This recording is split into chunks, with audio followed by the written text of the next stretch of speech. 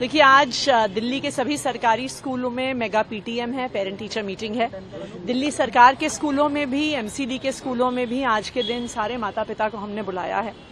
जैसा आपको पता है कि अरविंद केजरीवाल जी की सरकार आने से पहले सरकारी स्कूलों में कभी पीटीएम नहीं होती थी। सरकारी स्कूलों में कभी माता पिता को नहीं बुलाया जाता था। लेकिन पीटीएम की प्रक्रिया शुरू हुई क्योंकि अरविंद केजरीवाल जी की सरकार प्रतिबद्ध है। दिल्ली के हर बच्चे को चाहे वो अमीर परिवार से आता हो चाहे वो गरीब परिवार से आता हो उनको अच्छी से अच्छी शिक्षा देने के लिए। तो आज मेगा पीटीएम है इसी तरह से रेगुलर बेसिस पे हम पेरेंट्स को बुलाते हैं।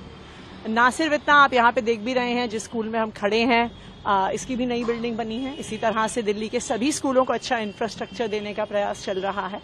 कि दिल्ली के सारे बच्चे चाहे वो अमीर परिवार से हो गरीब परिवार से हो उनको बेस्ट ऑफ़ बेस्ट एजुकेशन मिलनी चाहिए। पीटीएम तो हमेशा होती रही है। आज जो मेगा पीटीएम इसमें क्या खास है? देखिए एक इसमें खास बात है कि अब दिल्ली सरकार के स्कूलों में और एमसीडी के स्कूलों में एक साथ पीटीएम होती है। पहले एमसीडी के स्कूलों में कम ही एजुकेशनल एक्टिविटीज़ होती थी कम ही शिक्षा पे इतना ध्यान दिया जाता था। अब सब पेरेंट्स को पता है कि एक दिन जिस दिन पीटीएम होगी हमें अपना समय निकालना है और अपने बच्चों के स्कूलों में। जाना है। हमारा मकसद ये है कि जितना ज़्यादा से ज़्यादा माता पिता की भागीदारी होगी, उतना बच्चों की पढ़ाई लिखाई का स्तर बेहतर होगा।